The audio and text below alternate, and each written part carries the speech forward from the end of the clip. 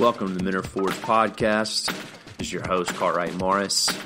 At Men Are Forged, we're about advancing men into their purpose. So, if you're feeling aimless in your life, you're feeling stuck, um, trying to figure out what's the next step into your career, into your life, then come join me for a two hour coaching session called The Purpose Journey. If you want more information about that, go to menareforged.com, click services, and you'll see The Purpose Journey. Click on there, find out all the information, and even set up a time to have that two hour coaching session with me.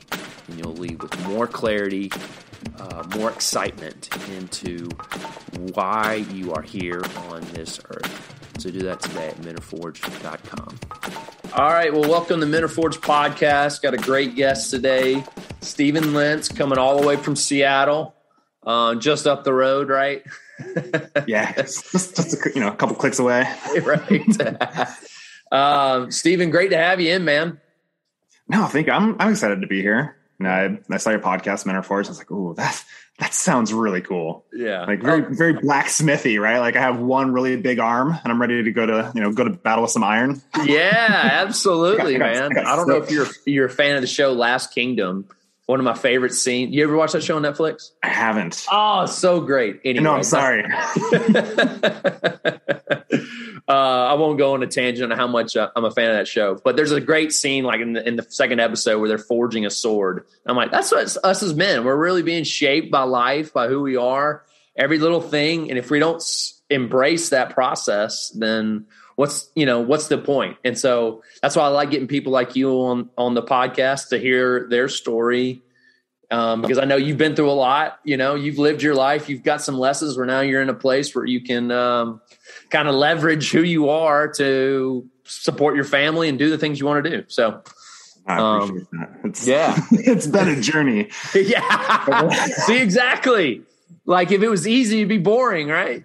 Oh, yeah. I, I'm waiting for the easy. I'll tell you what. Yeah. same, my friend. Same. Um, well, cool. Well, yeah, I mean, so, um, you know, I try to start with some fun question, but the one I've been kind of been on recently is just, you know, what's a, what's an early, what's a fun early childhood memory that you have, Steven? Yeah. Well, mm-hmm. I, I grew up in a military family. All right. So that means I moved around every two to four years. So I have no concept of like childhood friends oh, or oh, wow. hometown. Right. Like yeah. it, it, doesn't exist for me. Mm-hmm. So like good childhood memory. My let me just sprinkle in some trauma, right? Like, yeah, there you go. Yeah. I mean, my my first like real memories that I can like actually visualize is we're in California. We lived on a hill mm-hmm. and we overlooked the ocean, and it was on a military base or just outside of it. And I was I learned to ride my bike on the super steep hill, and we had a neighborhood, and we had a neighbor who had a crocodile in their bathtub like just bizarre. like, like the sunsets on this rock and swing were nice, and we had a neighbor with a crocodile, and I rode like learned to ride a bike on a super scary hill. Like that's my, first reason. Like for some reason, I cherish that. It's you know it's kind of weird, but as far as like a good memory of like this is parenting, this is what I don't want to do. Mm-hmm. My parents believed in taking vacations, which is awesome, but they believed in driving everywhere Oh, and you were one of those families. Yeah. I was one of those families. Yeah. and, but we didn't drive to fun places. We drove to like Gettysburg and Yorktown and Jamestown, Williamsburg, and we would go like watch people in colonial clothes churn butter. Like that was vacation. I'm not, I'm not kidding. Right. Like, I, I distinctly remember my brother and I just like being just little bitches and am I allowed to say bitches on your show? Yeah, you're good. We were, we were bitches and just like guilt tripped my dad into taking us to a water park for a day. And like, I remember him making us feel so bad and terrible about like ruining their vacation of going to Gettysburg, but not like running in the fields. Like, hey, let's pull over and look at this, you know, like huge ass field where a bunch of people died a long time ago. Like, cool. Can we, play, can we break out the frisbee? No, like, in the car. So so yeah, water park for a, a, family vacation. That was the thing. Like we would rail against our parents for like one fun day on these yeah. family vacations that we drove to for you know twelve plus hours. Mm. there you go. Yeah, so water park was that one release, that oh, one oh, yeah. childhood. Like I don't have to ha- hear like some guy dressed up in a, a like useless grand or something telling some story. oh god, just just terrible. That's funny. Yeah, my wife was like, "Oh, have you ever been to Williamsburg?" I was like, "No, we're not going. Don't bring it. Yeah, no, we're, I'm good. Been there enough. We'll go somewhere else. We'll have fun." Uh, so yeah, I mean, you know, on that. So I mean, it sounds like you had a military family, a lot of historical influence. uh, who were some of your early influences that kind of shaped a lot of your thinking today as a man, like about success, about career, about you know masculinity? That that is a great question, and one that's not actually easily answered. Yeah. Right? Like I feel like a lot of people are like, oh, you know, this football guy is my hero, or you know, I wanted to be this, so this guy's my like. Yeah. I didn't really have that. Yeah. Like the main influence in my life, and again, like moving around so much, I didn't have a constant input of Mm-hmm. another influential person in my life. Right. So that, you know, uncle that you're close to or youth pastor, or whatever it is, you know, I Mhm. didn't really have that. And so like growing up, like the main influence was my dad, but he was working a lot. And so, you know, he would come home and not super, super present. Mm-hmm. It's like he provides for his family really well, and that's awesome. Like I want to make sure that I provide for my family, right? Like that's a, a big part of my manhood is what I took from that. Um, you know, character flaws aside, like Yeah. providing for the family is really awesome. That's how he showed his love, Mm-hmm. right? And so I think that was influential. And then when I moved out to here, 2001, just just turning 16, Washington State, Mm. um, met a youth pastor who was really influential Yeah. and just like finally found because my pet my dad had retired from the military at that point and they'll Mhm. move you back as far as wherever they came from they came from washington Mhm. and so this was like the start of i've been in washington 20ish no close to 20 years now i think yeah Mm-hmm.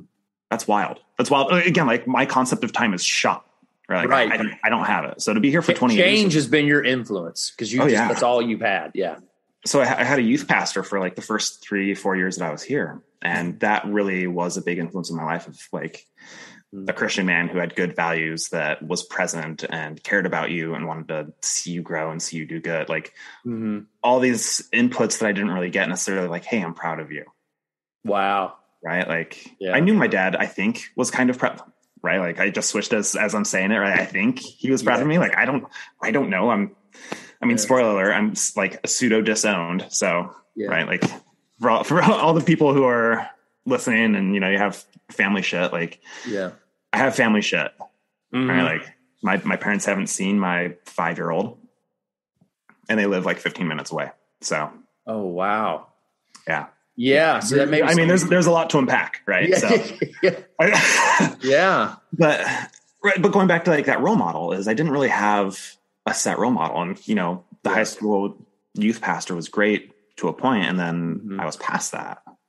Right. right and like i moved i've moved around in washington state like every few years just with like jobs and school and Mm-hmm. everything else and it, it's been wild and so my role models have been people with direct influence in my life have you watched brooklyn 99 Yes. Yeah. Uh-huh. i'm i'm somewhat like jake peralta Right. and like my daddy issues to captain holt right. right? Like, I have this this mailman in my life who had I'm like, oh, this guy is legit. Like this is really cool. Like I want to embody these characteristics of this. Like I haven't had someone inputting these things into my life. yeah. Right. And I don't I don't see or get that from this nebulous idea of a famous person. Mm-hmm. Right. I, I don't care about famous people. It Right. doesn't have any bearing in my life. And I don't care, you know, that, well, this guy, you know, shows up for practice every day. Well, that's cool, but that doesn't impact like I don't have that direct thing that I crave. Right. Right. So Yeah. the the the super roundabout answer of you know role models is i think it's Yeah. it's been this nebulous thing of like who do i know immediately in my life that embodies really good traits and trying to emulate parts of them mm-hmm. So Yeah. yeah it's great, man. that's decent That's good. I think a lot of uh, millennials, guys our age, very similar story of, you know, my dad was there. He provided. So he kind of checked the basic marks, but from having like the constant male or males in my life who are like, be do this, be this kind of man, set these foundations of who, who what success really means. Cause I think it's just all, we're all kind of making it up from what we've seen. Yeah. We're not absolutely. really having intentional, like pointed, like tip of the spear type mindset towards our own life and success and meaning and all that. So it's just kind of like free fall. Like it's more Mhm. like a shotgun effect, right? Yes. Um, so yeah, I mean, to that effect. So that made you decide to go to Washington State. Is that what you said? Cougars. Uh, less of a decision and more of like this is where I ended up. like as a as a minor that's not emancipated or emaciated or whatever it's called, right? Like Yeah. I follow my parents because they provide for me and that's where I was. So Ah. yeah, by, by default, I ended up in Washington State. That's- Gotcha.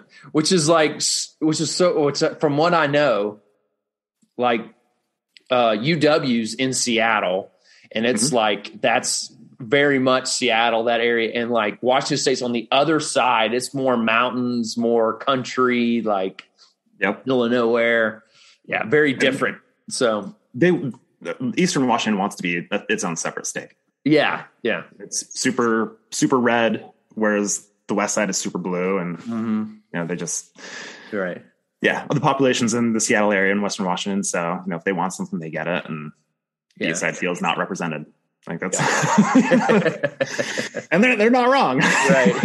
like, so so what uh so give me after college you went through those uh you know i guess in four to five years you know some people are like me i did like six and a half but uh what like yeah what led to becoming a fireman what led you know what was kind of the next steps after college that really like all right this is what how i'm going to make my way in the world yeah, absolutely. And, and for everyone who's watching, right? Like I know you're like this guy looks like he's 12. I get it. I'm 35, right? Like I had college debt. I graduated 10 plus years as a firefighter. Business like I've I don't. I'm, I'm not. I'm not 12. Good genes. I, I do appreciate that from my father. And but uh, no, it's a great question. So uh, went to college and was like, man, I want to get out from the strict thumb of my parents. Ah. Like, like, they were military and strict, but they're also like super Republican conservative strict. ah Like, yeah hey, we don't like Disney now, so we're gonna like get rid of all the VHS tapes. oh Like, there's yeah super right. Like, yeah people are like, oh, have you seen the show? I'm like, no, sorry, I live in a cave. I I, I can't Yeah. watch TV. I sneak Boy Meets World when they they're out of the house for like an hour. Like that's my that's my naughty sneaking, right? Like, so the purge Yeah. mentality. We have to get rid of all influences that are evil. right, and have some resemblance Disney's of it. Yeah, so all of a sudden you can have Beauty and the Beast back, right? Like, but no. So I went to college. Like, I didn't want to go to college first of all. So for everyone who's listening, like, oh, I'm being forced to go to college. Hey, I get it. Yeah. I, like, I didn't want to go.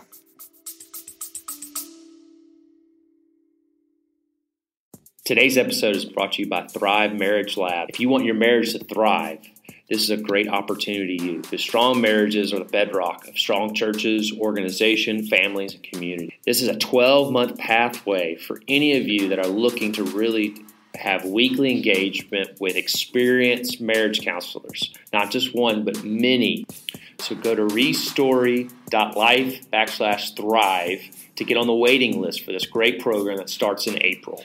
That's restory.life backslash thrive. And make sure you put the word forge in the promo code to receive a discount on your monthly fee. Now, back to the episode. But again, super strict. Because that was the model of success, right? that, that was the model of success. Yeah. You'll be set for life if you have a four year degree. Uh, Like- the phrase that was thrown around is if you don't go to college, you'll be a statistic. Ah, yeah. Right. Right?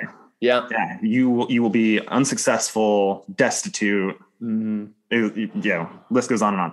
So like, hey, you have to go to college. And it's like, well, I don't want to go to college. Like, Yeah. I graduated high school. I did. I graduated early, and they're like, hey, you you need to go right now. And I was like, mm, I want to take a year off and like figure stuff out. Like college is expensive, and I feel like that's a waste of money to just like go to college to go to college. Yeah. They're like, well, we're going to enroll you in UW Tacoma. And for everyone else who's across the country that doesn't know UW Tacoma, it's the a branch of the UW in Seattle that's in another city called Tacoma, and it's kind of an armpit of a city. At least it was back then. And I was like, I don't want to go there. Like that's the armpit of schools over here. Like Yeah. I want to go there. My buddy was like, Hey, I'm going to SPU. uh, why don't you come with me? And I was like, anything's better. Yeah. So I ended up signing up and went there, and it was stupid expensive. It's a private school, Uh, but I went there because my buddy was going there. Like that's the only reason I went. And so I was like, well, now I have to figure out what I'm going to do, right? And they don't let you major in lunch or recess, so I was pretty out of as far as like what I wanted to do. mhm. And uh, lunch or recess. That's a great one. I was like, oh, he didn't think that was funny. it took me a second. It's like that's good though. and so, uh, but seriously, like that was my mentality, right? Like, why, why am I going here?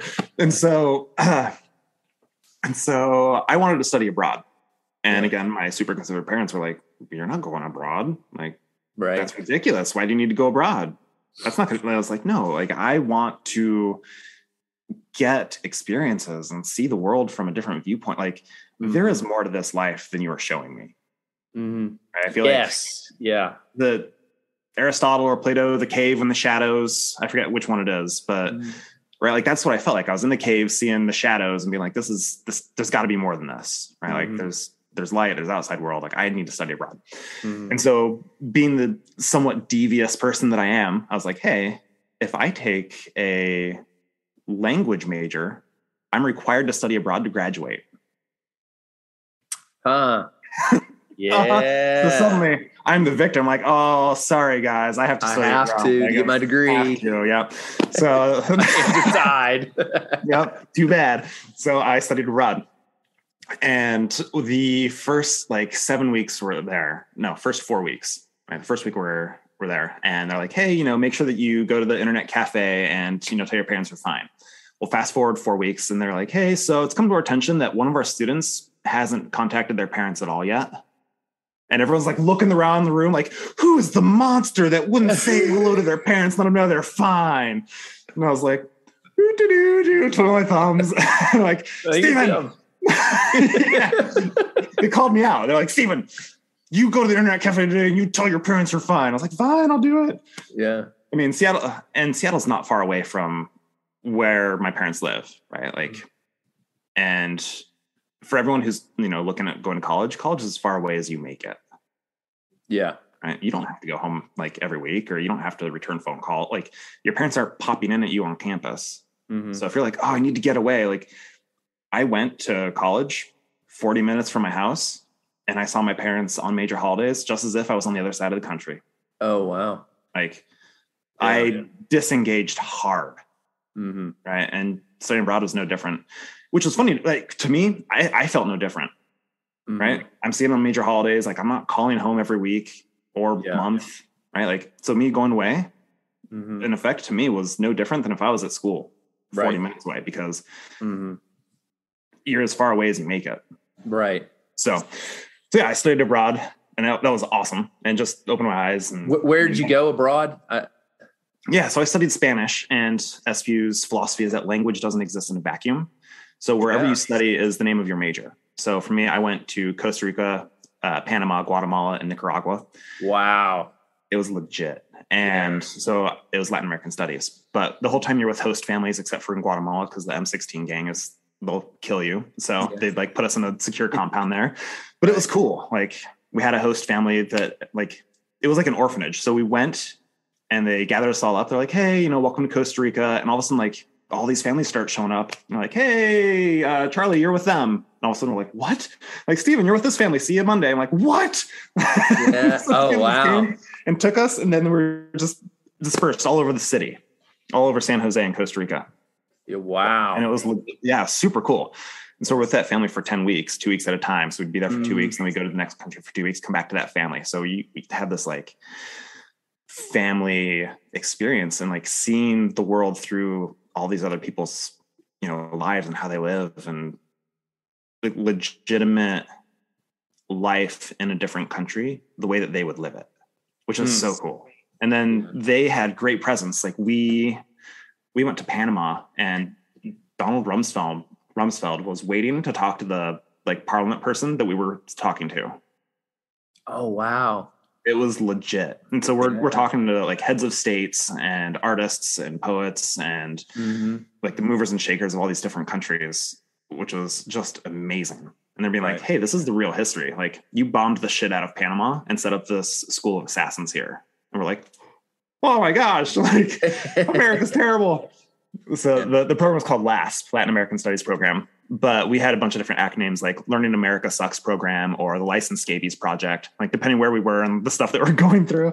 So it's like.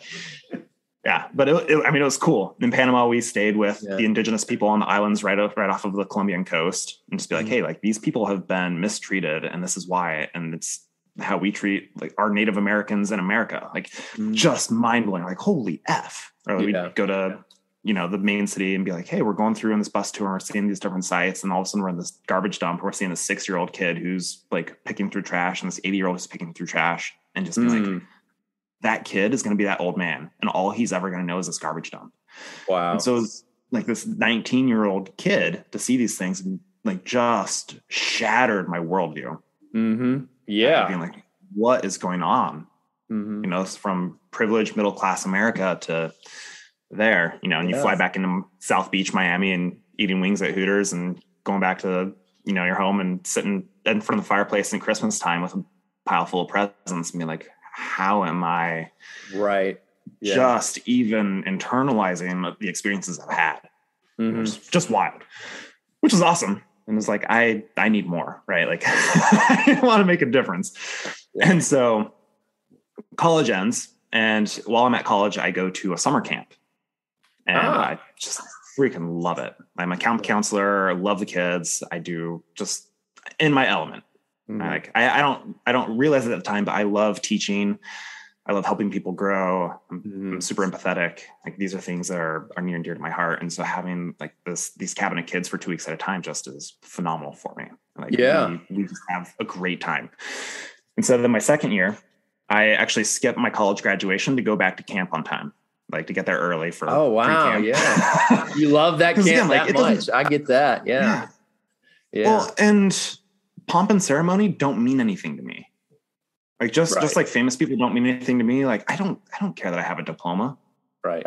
Like I have it somewhere. I've I, I could burn it and it, it wouldn't change my life. Right. Right. So if people are like, oh, you're not going to go to graduation, I'm like, no. Why am I going to sit in a room for three hours and have someone tell me that I can do it? And then like, Wait in a line. Yeah. It's like I can go to Disneyland and do that and sit in the line.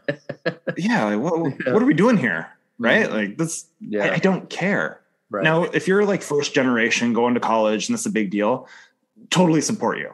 right. Right. For myself personally, I was going to be a statistic if I didn't go. I don't care. Right. Right. Like, let me go and play with the kids and do this stuff. So I go and do that. Yeah. And now I'm at this thing of realizing like summer camp is ending. I'm not going back to college.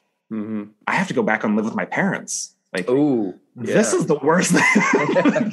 I- this, this can't happen to me. Yeah. right? So, so so i get a hold of the camp directors. I'm like hey do you know anyone that's hiring?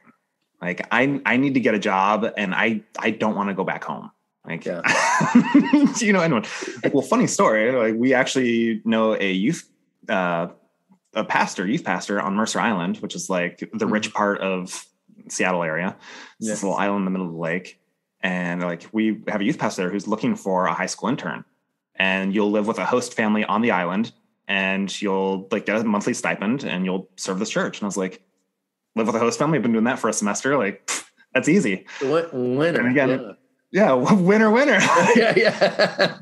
not not paying rent and food like hang out with another different family that's not my own and play with kids like i'm in like why why wouldn't i be like i'm not, not going home so, and so i go there Yeah.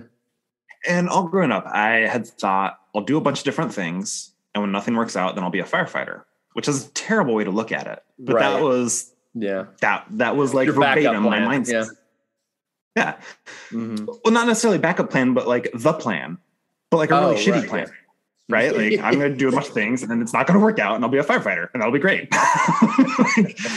Why wouldn't I just skip to let's be a firefighter and that'll be great, right? Yeah. Yeah. Exactly. So, yeah. So I'm there and I meet a firefighter in the area from Kirkland. He's like, Hey, have you ever thought about being a firefighter? He's like, I think you'd be really good at it. And I go, funny story. And I say, and he goes, don't ever lead with that in an interview. I was like, oh, okay.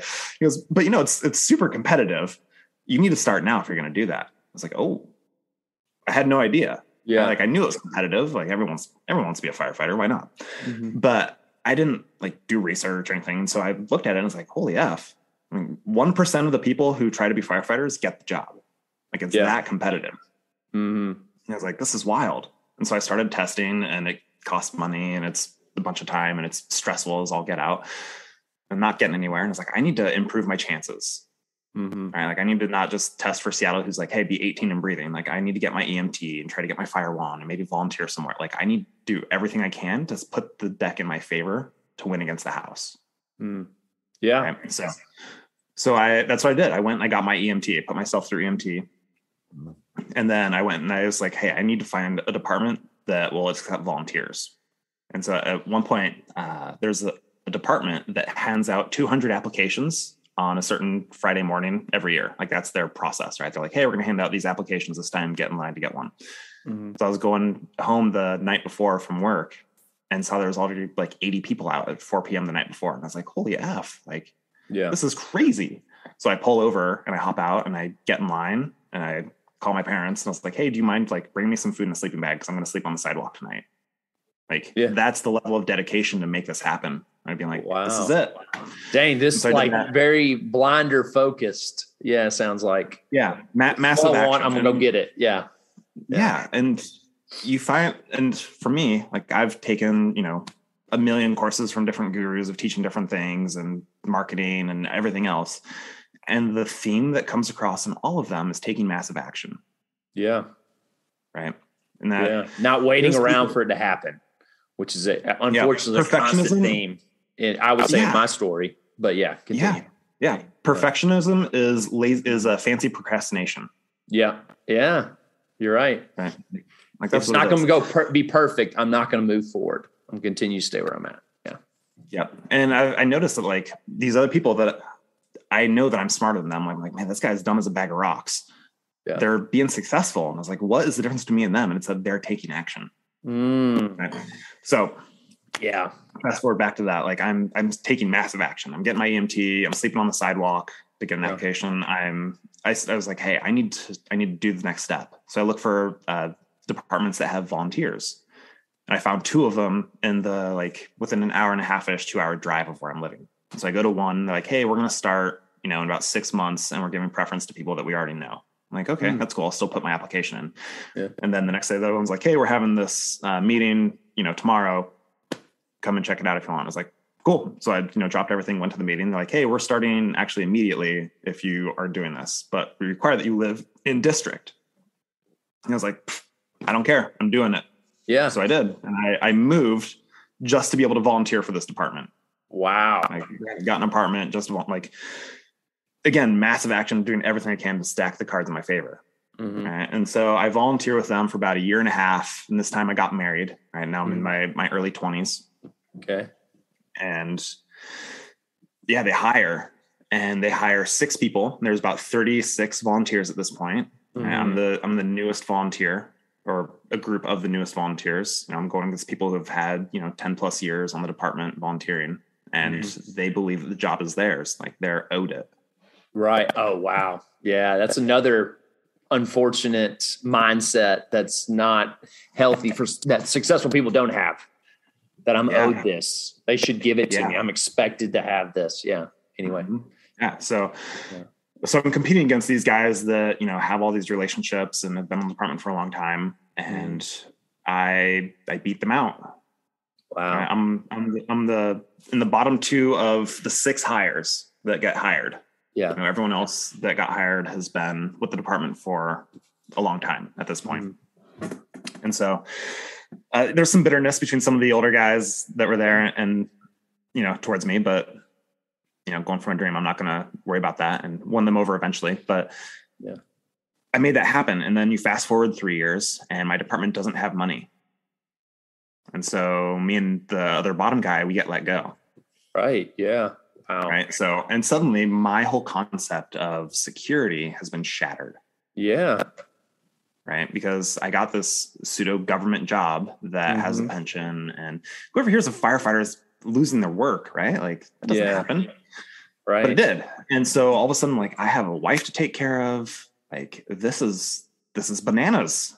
Mm-hmm. Like, what am I gonna do? And so that really put the entrepreneurial bug into me of being mm-hmm. like, I need to forge my own path and have success on my own terms because I no longer have the trust that these other things that are supposed to be a sure thing are going to be there for me in the end. Yeah, that's that's good, Steven. All right, so if I could take a little just retrospective, everything you just shared, because yeah. everything yeah, you said absolutely. was really good, and you kind of had some three little things that I wanted just to note for the listeners. Um, you know, one is just like the the idea of exposure. You know, I think that's like uh, I had, you know, I I had a similar conservative Christian upbringing. You know, I thought church looked like showing up in a coat and tie. You know, and then mm. I moved to California and I experienced similar like people have you know, tanks and sleeve tattoos on and like going to church. You're like, so just exposure to different cultures, different, even political backgrounds, like different country, like just something about the human element that like, and I think that's that you made the point of like, Hey, I, it led to me going to that camp because I had high empathy. And I'm like, you, you developed, I mean, I think you're, you seem like an empathetic person, but I think you developed a lot of that by just the exposure you had to life, getting out of the house, wanting to experience something different than the your family at home. But there's also I think it was something interesting you mentioned about that of like you d- didn't find comfort at home. Therefore, comfort was in the pursuit of something. Comfort was in like making something happen, which I think it was a cool trait and as sad as that is about your family, and I, you know, I love to hear more about that of just where you are now with them and what happened but it was like it was interesting. I think the helicopter parent thinks they're take creating a safe place, but they're really creating too safe of, of a place where they're suffocating them, and therefore there's comfort is not really registering to the to the child, and therefore an adult. And it's like it's just it's just interesting just hearing your story of like somehow something got worked in your brain of like this is not comfortable, but the pursuit is. I, I just don't want to be around that. So how, how do I move forward? I don't want this to be my normal. Um, but anyway, yeah. And there was the the third thing. Uh, yeah, I don't know. It's just interesting. I, I, I really like the firefighter thing of like just going to making it happen, falling forward. I, I like that more and more. I hear on this podcast the guests that I talk to, like yourself, like the greatest model of success is falling forward. like you just yeah. got to take action, make mistakes, learn from it, grow, keep, and then just keep moving. So, um, and, and and on that part too, like in this in these times of like uncertainty and needing to pay bills and stuff, I held like twelve different jobs. Like I yeah. sold insurance over the phone. I I uh, I sold vacuums door to door, like literally, and that lasted a day because I'm at nine o'clock at night knocking on this old this lady's you know apartment door, being like, "Hey, I need to try to sell you this vacuum." And she's like, "My kid is asleep." I'm like, "I am so sorry. Like, yeah. This is not for me." So the next day, I, I hung that up, but like I did it. Right. Like, mm-hmm. You know, like, I've stocked Home Depot with shrubs. Like you think about it, I've uh, raked sand traps at a golf. Like anything I could do to make money, I was like, I need to make this happen, and I'm going mm-hmm. to make something happen. Like I'm not, I'm not a victim. Yeah, Oh, yeah, circumstances suck ass, but I'm not a victim. Right. And if you didn't do those things, you wouldn't know that you didn't like doing them. Like that's what that's the kind of, kind of the mindset of like so many times we wait around for that perfect job, but I'm like, I don't really know what I like if I'm haven't actually tried doing different things. Sure. Um, well, and I, I did know that like I'm not going to like selling vacuum cleaners door to door. Like right. I already knew yeah. I wasn't going to like that. Like I didn't try to know that. but the experience is like this is far beyond as bad as I thought it was going to be. Yeah. And I'm just I'm not going to do it. Like. uh, so Steven, yeah. What then? All right. So give me a little bit more. So you you you end up, I'm guessing, finding another firefighter. But what really got you in the entrepreneurial mindset? What what was that kind of that journey like of stepping in and really, you know, um, I, you used great wording at the end of there, and I and I lost it. But yeah, how you stepped into being more entrepreneurial thinking and having different streams of income and not being dependent on a, you know, a salary or dependent on a one job kind of mindset. So sure, yeah. So I got let go. All right. And then the IFF, the International Association of Firefighters, like they're awesome. I have nothing bad to say about firefighters or departments like that. And they like, hey, this other department is hiring. Uh, we're going to get you like past the first round testing straight into the process. It's already halfway through it. I was like, that's mm-hmm. awesome. Interviewed with them and they did great and got hired on with them like two months later. Right. And so now I'm on probation all over again, going through with these people. Um, bad culture. I didn't jive with them. Um, I was with them for about a year and a half, and they're just like, you know what, you're not for us. Like, you're not saying you're not a good firefighter. Like, I think with the right department you are, but you mm-hmm. just don't fit our culture. Like, I'm not a type A person. I'm very type yeah. B. And they were all CrossFit, like, oh, we're yeah. gonna come to the gym and like measure our dicks. Like that was I'm totally serious. They had like their names and times of like the different workouts and stuff all over it, and like he on your face, like, throw the kettlebell, you know, like that's not how I work.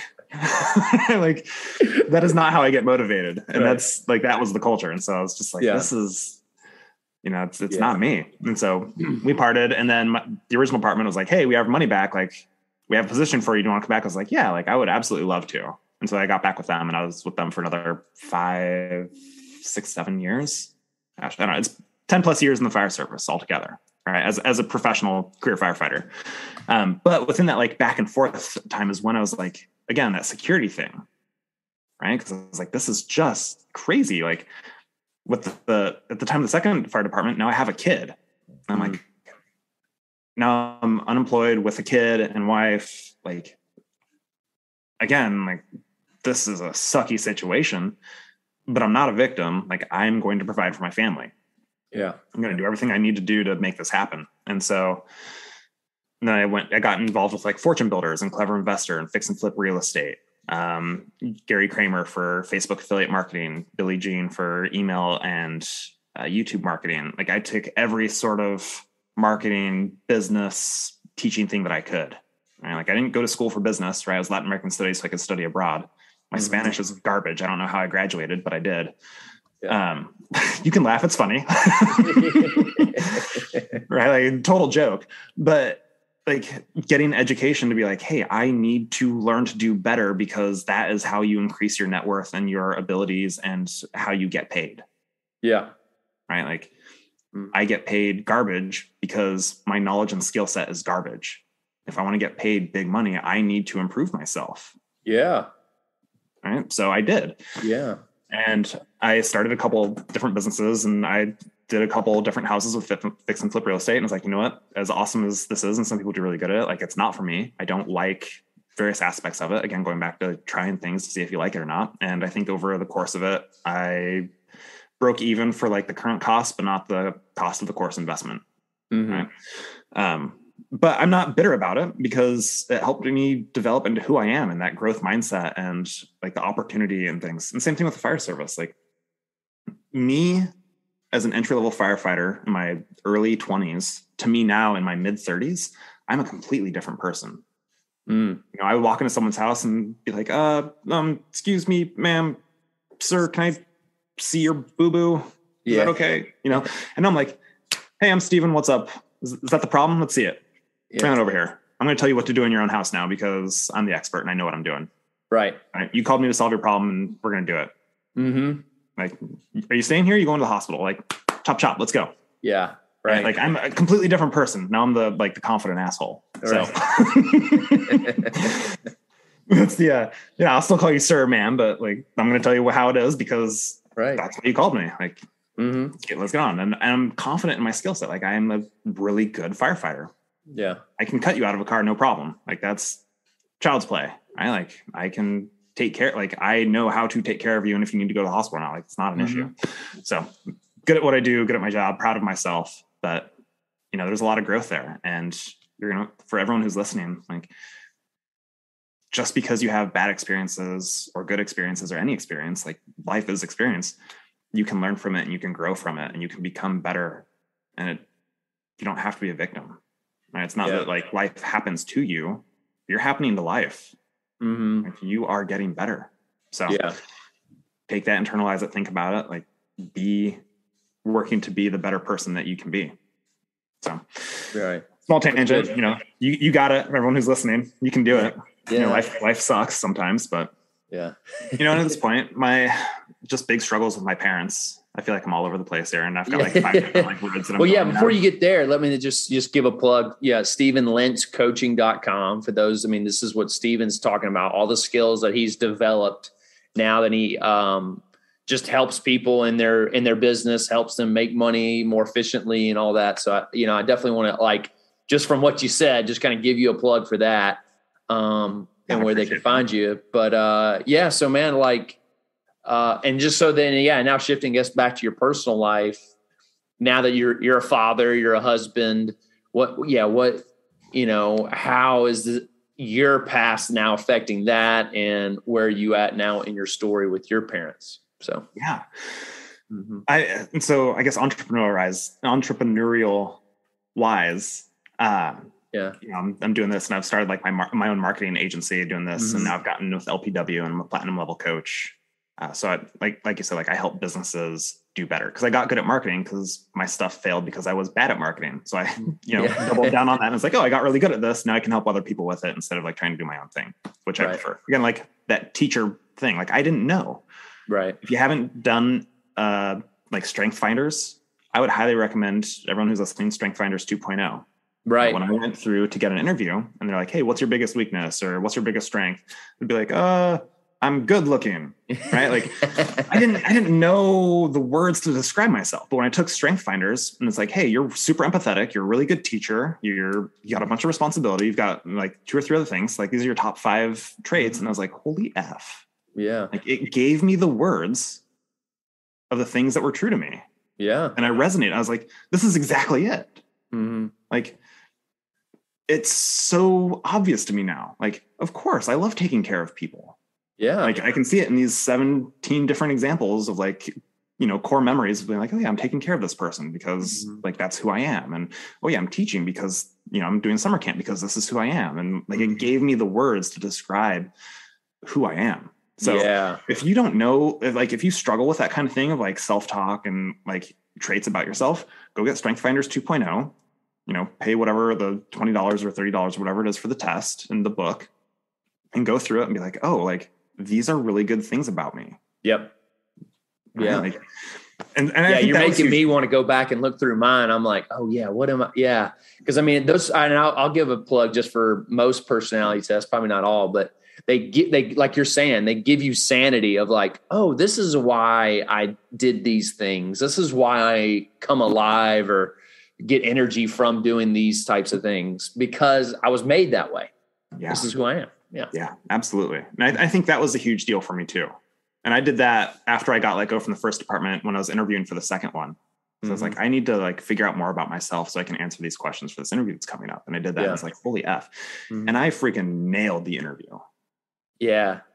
Huh. It, it's just phenomenal. Yeah. So going into the story of my parents, right? And this goes into that in, the interview there of. Mm-hmm. I, I'm just jumping around all over the place. Like, oh, I want to make sure I talk about this. well, you gave such a plug at the beginning. I'm like, I, I you know, I think our listeners, because I think a lot of our list, my listeners, millennials, Gen Zers, like, yeah, I mean, they're, they there's they have stuff with their parents, and this is Yeah. something like it's it's right here, right? Especially if you are a parent too, because it's coming up. All right, so I'm gonna we're we're gonna get real, right? I'm gonna bring the energy up and down, and I might cry, but I'm totally serious. Like this, this is a hard story for me. Yeah, Okay? So, spoiler to everyone who's listening, like bring out the hankies and cloths and stuff. Like, yeah, but so I'm at the interview, right, for the second fire department, and they say, hey, you know, what's what was the time where you had like a a lose lose situation? You had to make a choice, hmm right? Not not outside the realm of the ordinary for a firefighter to have to make a, a bad choice, like Mhm. the, the the best of two evils, right? yeah, And I wasn't prepared for it. And it's not something that I, you know, I was thinking about, thought about, and I thought for a second. And I was like, oh, oh, I've got it. Like it impacts my life every day. And when I was about to get married, my parents were like, hey, uh, we don't much care for the girl that you're going to marry. Like, we want you to call off the wedding. Like, I already proposed, like, the wedding's like a couple months away. Like, we don't really care for her and we want you to postpone it. I was like, Wow. oh. And like, and go, we're gonna make it easy. It's either her or us. Right. man, and so I had I had to choose the relationship with my parents who as much as we don't get along like i still love them Yeah. right it's my seven year old's peeking in the door here Yeah. um you know like I, I still love my parents even though it's just awful and the relationship with this woman that i love Mhm. you know and being like well, i'm going to hurt someone i love no matter what i choose Right. right obviously i'm married obviously my relationship with my parents is shot so you can probably guess what i chose Right. right i, cho- I chose my wife but yeah that just i mean that was the nail in the coffin for my Yeah. relationship with my parents Mhm. and again like i live 15 minutes away from them and the last time they saw my seven year old was when he was a baby and they've never seen or asked for a picture of my five year old or mm. have reached out and i've i've done all sorts of, like i try to call them i had like my mom is the crazy one you know like we we we call no we all know who the crazy one in the family is right of like Yeah. this person steers the ship and like this is this is where the waves come from Right. um that's my mom and she's super stubborn and Mhm. uh like i like my dad like he's he used to be like super mean and strict growing up and he's really changed and he's a much better person over these last years after retiring but like Mhm. my mom runs the house and he follows you know whatever is said and so i tried to bridge the gap by doing stuff with my dad like we meet with for lunch every you know a few months or something like that and that eventually fell apart like it didn't really work you know with the input and uh you know we tried to do like my wife and i we um we would try to schedule times like go and talk with them about different things like hey you know we we want to have a relationship with you like we want you to be part of our lives i don't want you know my kids to not know their grandparents and Right, that's yeah. hard, that's hard for me you Mhm. know and you like watch a movie and it's like oh family stuff you're like oh it gets me right like Yeah. because my family stuff is garbage and it's like Mhm. this is awful and Mhm. so we we tried to bridge a gap like a million different ways. And like i i tried writing a letter. I was like hey you know all we really want is for you to invite us over. Don't give us this nebulous like you can stop in. Like that's not an invite. Be like hey we would like to see you on friday the 17th um, for dinner. Right, Like, just send us an invite. I don't care if we can't make it. Like Mhm. just show that you want to see us. Right. right? Because then like hey drop in isn't that, that that doesn't mean anything. That's what you say to people that you don't want to see. Mhm. right because Yeah. you know they're not going to take you up on it Right. um like that's that's all we want like we'll, we'll come over we'll you know we'll bring dinner or whatever like we're happy to like but as far as like all we want from you in a relationship is just that you show that you want to actually be with us it doesn't Yeah. have to be like a grand gesture just just an Mhm. invite um we've never received an invite Mhm. you know, so I, I, we wrote letters like, hey, you know, these are the things like because they had like a laundry list of like being wronged, right? Yeah. So addressing these things and be like, hey, like I understand that you feel this way about this. Like this is how this came from our end. Like this is what we saw about this. Not attacking, like validating and being like, this is the story. Like I hope you can understand why we're choosing things.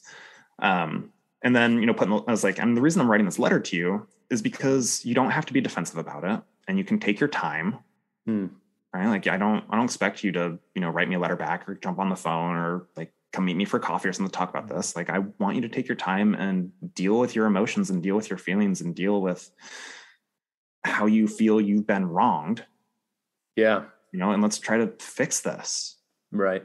you know Yeah. the letter didn't work I, I think they you know sent one back like a month or two later but it's it didn't change anything Mhm. you know, and we we offered to do counseling together it's like hey like Right. Yeah. I mean, here- yeah, it sounds like you you are initiating. You are like you saying, making action, doing plans, like um literally everything I could think of, hmm you know. Yeah. And I was like, I don't. I was like, you can pick the you can pick the therapist. I don't care. But like, let's like if you want to have a relationship with us, like let's fix this. Right.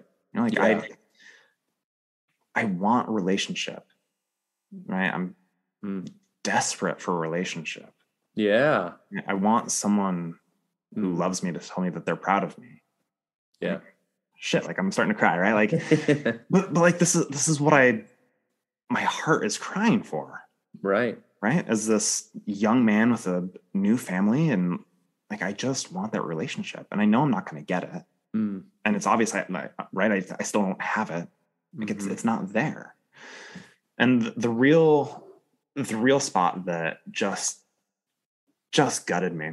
I was I mean it's it seems silly when I talk about it, but my kid's like three years old. All right. And again, they live like 15 minutes away. They they know the neighbors. They have the neighbors have a kid. They're about my age. They have Mhm. a kid and they act like that kid's their grandkid. You know, they have like the little like handprint and a rock thing and shit. And it's just like, what are we doing here? Right? Like you, you have your own grandkid that Yeah. you obviously don't care about Mhm. but they have a room full of kids' toys.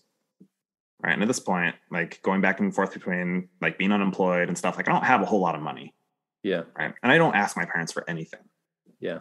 And these are like my old toys. And there's this little plastic table and plastic, like four plastic chairs and stuff. And I was like, hey, can I take one of these little plastic chairs for my kid? I was over there to visit something like drop something off for them or whatever. And they like, Mm. I was like, can I have one of these chairs? And they're like, no. I was like, seriously? It's like, there's four chairs. There's two of you and one little girl. Like, I can't have a, a plastic chair for my kid. Yeah. Your grandkid? Like, Yeah. and my, my parents aren't poor. Like, they're Yeah. quite well off, like Mhm. very well off. Like, it, this is asinine that they would turn down a request for a plastic chair for their own grandkid Like perspective wise. And then eh, just, kind of escalated from there. And I was like, you know what, forget it. Like, Mhm. I don't care. And then they they offered to like give me something or whatever, and like, hey, you know, why don't you come and pick this up? And so I went to go pick it up, and they just put my stuff out on the porch. Yeah. like, fine, fuck it, Mhm. right? I'm done. Yeah. I'm done. Like just emotional turmoil and strife and just stress, right? And hurt and pain. Yeah. It's just like I'm I'm over it. Like, why am I doing this? Mhm. You know, for the last five plus years, I've been trying to fix this and reach out and make this connection with people again, like people that I there's no good reason we can't have a relationship Right. like my wife is a sweetheart.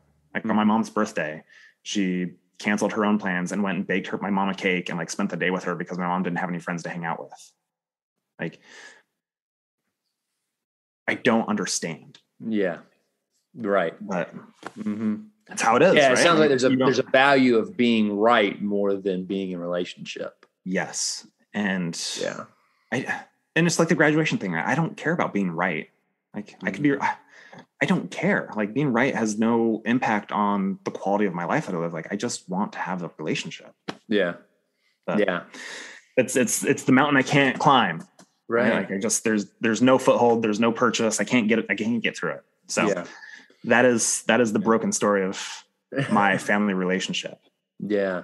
So And, how's it? Yeah. So I mean, that was that's interesting. Like, yeah. I mean, I think for my listeners out there is like at the end of the day, like you could put forth effort, you can communicate what you want, but if it's not reciprocated, then that's that you that there's a line. They have communicated what they want, and you're actually communicated something different. But if you're not, and you can't, you can't control other people's thoughts, you can't control other people's actions.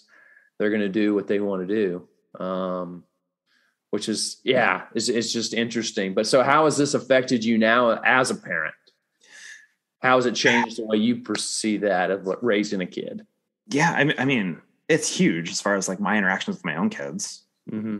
right? And like shitty vacations and like no say, no power, no yeah no voice no Mhm. voice, right? Mhm. Like I love my kids to death, and I, I have a hard time being like, do I tell them that my parents just died in a car crash and that's why they don't see them?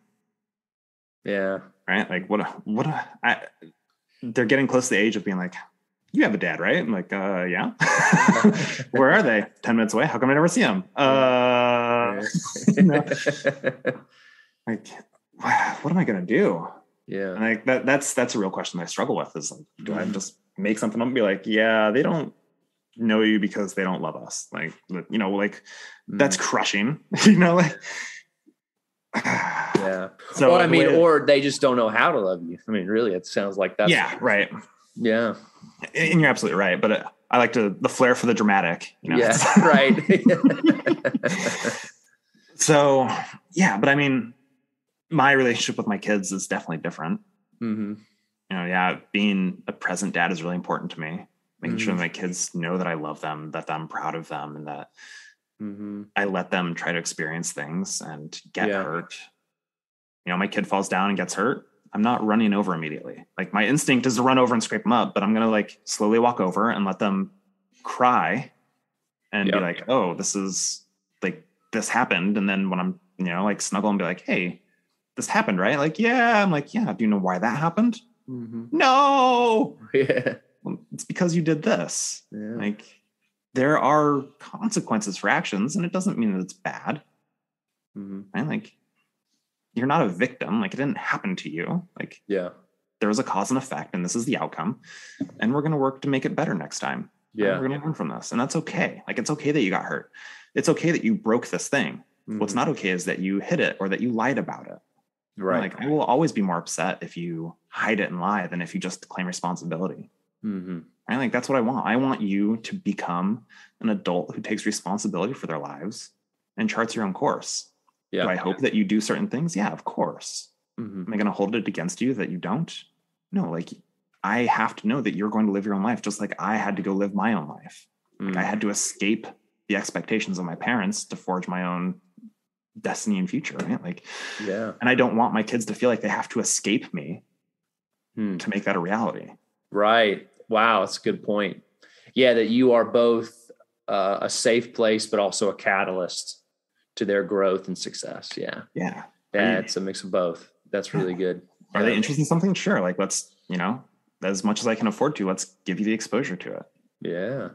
That's so I think that's how it's shaped me as far as my outlook to my kids. Now, I- you know, fast forward to now and I have a seven year old and a five year old. Like Wow. I'm in the thick of trying to raise many humans that are completely separate people. Right. Yeah. Their own unique individuals with thoughts and feelings. And yeah, that's really good.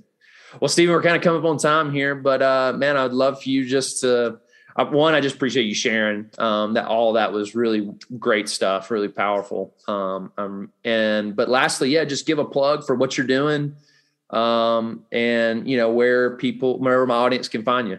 yeah, love that. So I mean, first off, thank you. I had a, I had a blast, right? Like le- reliving childhood trauma is always a wonderful thing. It's, um, but no. So I mean, you'd mentioned it before. I do business coaching. I'm a business coach uh, for people who are you know business owners, entrepreneurs want to get into that. Like I help people figure out how to do better in their business and make more money Mhm. right? And I think uh, I'll I'll say two things about that. One is most small business owners, entrepreneurs are in business by default and not by design. Mm. Right? Like you are good at making tables, or you can fix a sink or something like that, and so you start this business and you do it, and you kind of bottleneck because you don't understand business. Hmm. You're really good at what you do. Right. Yeah. So for those people who come to that spot of being like, I'm ready to grow, like I need more clients, I need to figure out how to do lead gen or whatever, like that's that's where I live. Like I'm happy to help you with that. And the flip side of that is for all, you know, all you young kids that are looking, or not even necessarily young, but you're looking for that change of being like, hey, I want to do something more that makes an impact. Mhm. And like again, I'm looking for coaches. So if you're like, hey, that actually like I want to be a coach, like that sounds interesting. Yeah. Hit, hit me up and let's talk. I'm gonna put a Calendly link. It's a 10 minute time slot in the show notes for Mr. Cartwright here. You Yeah. in there. And uh, you can book a time to chat me up. Yeah. So, be happy to chat and be like, hey, you know, if you want to, again, for business owner, like let's talk about your business and do a little strategy. And if you are looking to be a coach, let's let's talk. Right, come find me and let, let's get you going. Because the best time to plant a tree is 20 years ago. Next, the next best time is now. Right. Right. Yeah. So take action because without action, you don't have anything. Yeah. I appreciate it. StevenLentzCoaching.com. And man, thank you so much. I had a blast. And if you ever want to have me back, I'm happy to come back and chat with you because Yeah. we scratched the surface. yeah, we did. We dove down deep. We came, you know. So I really, I, I do appreciate it, Steven. That was a lot of fun. So thanks for sharing.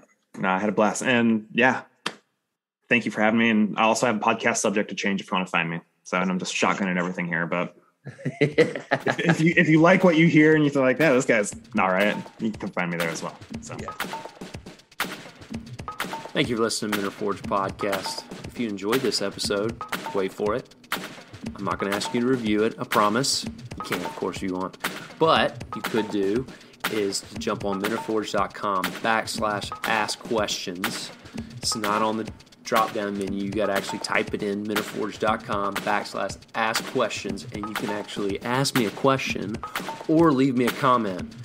If you're going to be a jerk and troll me, you got to at least be clever and funny, though.